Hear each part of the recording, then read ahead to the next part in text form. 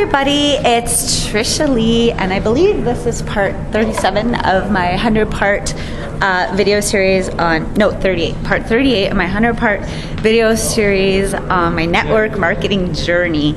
And in the last video, I was uh, in Phuket, Thailand, at getting ready to go and be a makeup model for a bunch of little girls in, in a Thailand orphanage.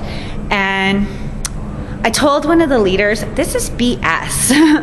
really, this is a vocational skill, putting on makeup. So we're going to teach a bunch of little girls how to get all whored up to go out and be prostitutes. I don't like it. I didn't like it all. I was like, but I was, but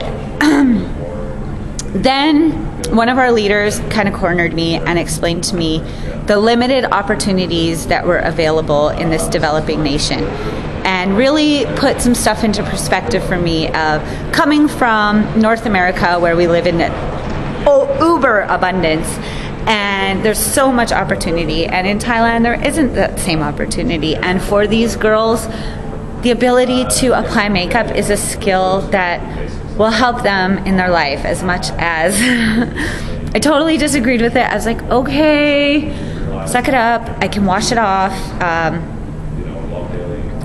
let's just do this. And I'm so glad, so, so glad that I didn't turn around and walk out of there, which was my first instinct, because it was amazing to see how much joy these little girls were getting from applying this makeup.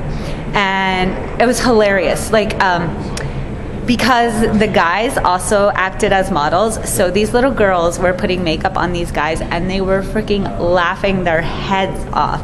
By the time of it, they had like lipstick up on their foreheads and all over themselves. They, it was hilarious. These guys were all makeuped up and there was so much giggles and laughter. And even though I felt pretty uncomfortable the whole time, I seen the joy that just spending that little bit of time with those kids uh, created for them. And I realized that giving my time in this way was valuable to them, even though at first I've totally resisted it.